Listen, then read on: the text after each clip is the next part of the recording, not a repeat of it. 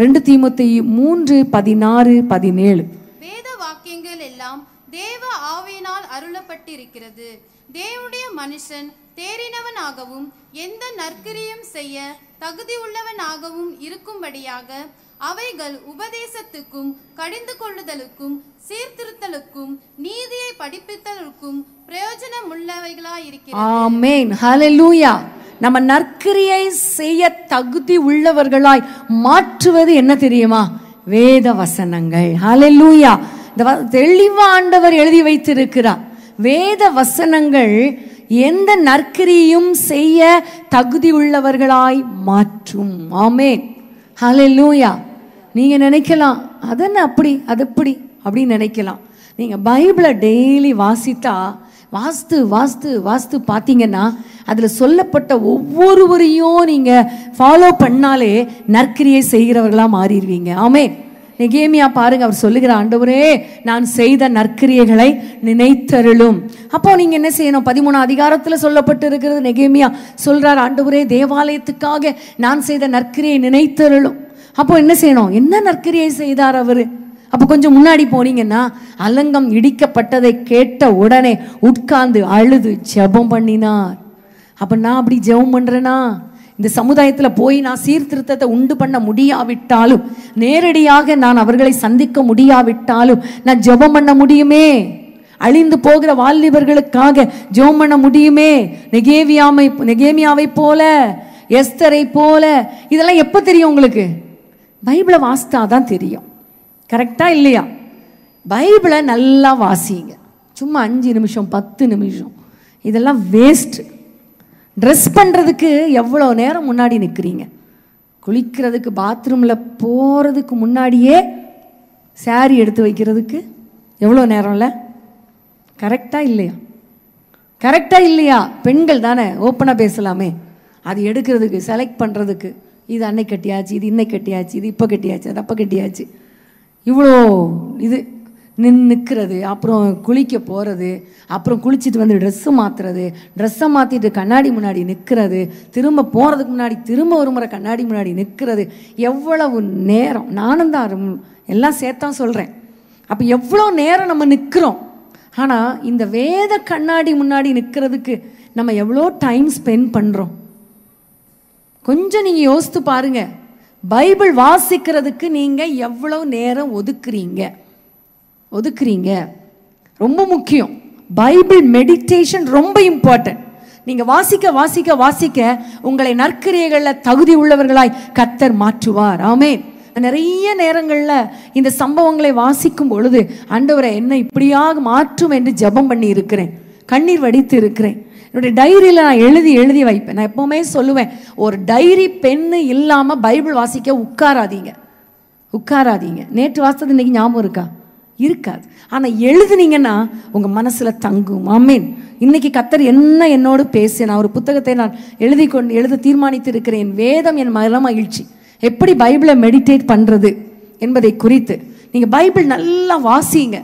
வாசிங்க. திரும்ப திரும்ப வாசிங்க. அதில் ஆண்டவர் நான் என்ன செய்யணும்னு சொல்கிறாரு வாட் டு டூ நான் என்ன செய்யக்கூடாது? திங்ஸ் நாட் டு டூ நான் இது இல்லாமல் நான் எழும்பவே மாட்டேன். உங்களுடைய வாழ்க்கையில் நீங்கள் கண்டிப்பாக இந்த காரியங்களை நீங்கள் கடைபிடிக்கணும். ஒரு சமயம் நான் வேதத்தை வாசிக்கும் பொழுது இந்த மாறாவில் ஜனங்கள் கடந்து வந்த பொழுது அங்கே ஒரு குப்பை வெட்டி போட்டார் என்ற ஒரு சம்பவம் இருக்கு இல்லையா? அப்போ நான் அந்த மாறா அந்த இடத்துல இஸ்ரேல் தேசத்துக்கு போயிருக்கும் பொழுது எகிப்தில் மாறா வழியாக நான் கடந்து போகும்பொழுது அப்போ நான் நினச்சேன் அது வனாந்திரமான மார்க்கம். இந்த ஜனங்களெல்லாம் வருவாங்க. இப்படி ஒரு காரியம் நடக்கும். அந்த இடத்துல ஒரு கசப்பான ஒரு தண்ணீர் இருக்கும். அந்த தண்ணீரில் ஒரு கொப்பை வெட்டி போடணும். இதெல்லாம் யாருக்கு முதல்ல தெரியும்? இஸ்ரேல் ஜனங்களுக்கு தெரியுமா? தெரியாது. ஆனால் யாருக்கு தெரியும்? ஆண்டவருக்கு தெரியும். அதனால ஆண்டவர் என்ன செஞ்சார்? எத்தனையோ வருஷங்களுக்கு முன்பாக அந்த மாறாவில் ஒரு செடியை வச்சிருந்தார் இல்லையா? அப்போ நான் ஆண்டவரிடத்தில் அழுது ஆண்டவரிடத்தில் கேட்டேன் அப்பா இந்த மாறாவின் கசப்பை மாற்றுவதற்கு ஒரு செடியை நீங்கள் அங்கே வச்சிருந்தீங்களே என்ன அப்படி ஒரு செடியாக மாற்றுங்க? மற்ற மக்களுடைய கசப்பை மாற்றுகிற ஒரு செடியா என்னைய மாற்றுங்க. நான் வெளியரங்கமா தெரியப்பட வேண்டிய அவசியம் கிடையாது. ஆனா அந்த திரளான ஜனங்கள் அவ்வளவு பேரும் தண்ணி குடிக்கிறதுக்கு ஆண்டவரை அந்த மாறாவுடைய செடியை பயன்படுத்துனீங்களே. என்ன பயன்படுத்துங்கப்பா? இதெல்லாம் எப்போ நமக்கு தெரியும்? இந்த பைபிளை வாசித்தாதான் தெரியும். ஆமே ஆண்டவருடைய வார்த்தைகளை கேட்கணும். நீங்க கேளுங்க.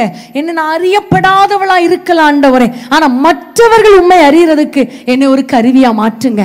மற்றவருடைய தாகத்தை தீர்ப்பதற்கு என்னை ஒரு கருவியா மாற்றுங்க. ஆமே ஹலல்லூயா என் பிள்ளைகள் ஒலிவமர கன்றுகள் புத்தகத்தை எழுதி அது கிட்டத்தட்ட ஒரு எழுபத்தி ஐயாயிரம் எண்பதாயிரம் புத்தகங்கள் நிறைய போயிருச்சு.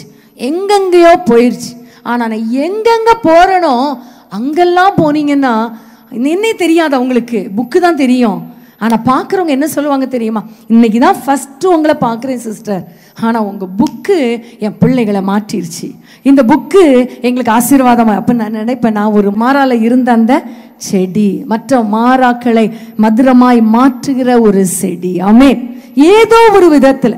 நான் கேட்கறது அதுதான். அடிக்கடி உங்களுக்கு சொல்லுவேன். உயிரை விட்டுட்டு போகும்போது நம்மளை பற்றி சொல்லணும் நாலு பேர்.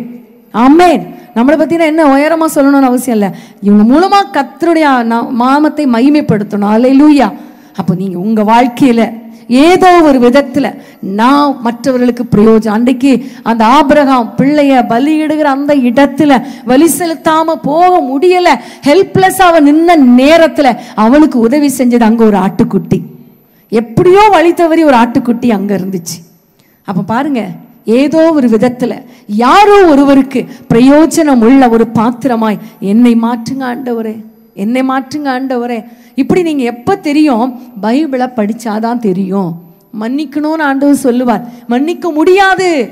ஆனால் மன்னிச்சு பாருங்க. மறந்து பாருங்க. உங்கள் வாழ்க்கையில் ஒரு பெரிய ஆசீர்வாதத்தை நீங்கள் அனுபவிப்பீங்க. இதெல்லாம் எப்போ தெரியும்? பைபிளை மெடிடேட் பண்ணி. இன்னைக்கு நிறைய ஹஸ்பண்ட் ஒய்ஃப் எப்படி வாழணும்னே தெரியல. நீங்கள் பைபிளை படித்து பாருங்கள் உங்களுக்கு நல்ல காரியங்களை கத்தர் கொடுப்பார். ஒருவரை ஒருவர் தாங்குங்க. ஒருத்தரை ஒருத்தர் மேன்மை உடையவர்களாய் நினைங்க. மாமேன் ஒருவருக்காக ஒருவர் ஜெபம் பண்ணுங்க. ஒருவர் பாரத்தை ஒருவர் சுமந்து கொள்ளுங்கள். எவ்வளவு காரியம். ஒருவரை ஒருவர் தட்டி எழுப்புங்க. எவ்வளோ காரியங்கள். இதெல்லாம் விட்டுட்டு ஒருவருக்கு ஒருவர் குற்றம் செய்கிறது ஒருவருக்கு ஒருவர் முறுமுறுக்கிறது ஒருவரை ஒருவர் கோபம் உண்டாக்குறது ஒருவர் ஒரு பட்சித்து தின்றது. இதெல்லாம் நமக்கு நல்லா க்ளீனாக தெரியுது. இல்லை? அப்போ ஒவ்வொரு நாளும் பைபிள் படிச்சீங்கன்னா உங்களுடைய குறைவுகள் தெரியும். நீங்க என்னென்ன நற்கிரியைகளை செய்யணும்னு கத்தர் சொல்லி கொடுப்பார். கண்ணாடியில் அடிக்கடி அதான் நினைப்பேன். கண்ணாடியில் போய் நம்ம நின்று பார்த்தா தலை எங்கே கலைஞ்சிருக்கு? இல்லை? அப்புறம் ஒழுங்காக பவுடர் போட்டிருக்கோமா? தெரியுமா தெரியாதா? இல்லை எங்கெங்கேயாவது அழுக்கு இருக்கா? தெரியுமா தெரியாதா? தெரியும். அப்போ அந்த குறைவுகளை நிறைவாக்கும்படி நற்கிரியைகளை செய்ய பழகட்டும் பைபிள் சொல்லியிருக்கு. அப்போ நற்கிரிகளை செய்ய பைபிள் முன்னாடி நிற்க நிற்க கத்தர் நமக்கு கற்றுக் கொடுப்பார். ஆமேன். ஹாலை லூயா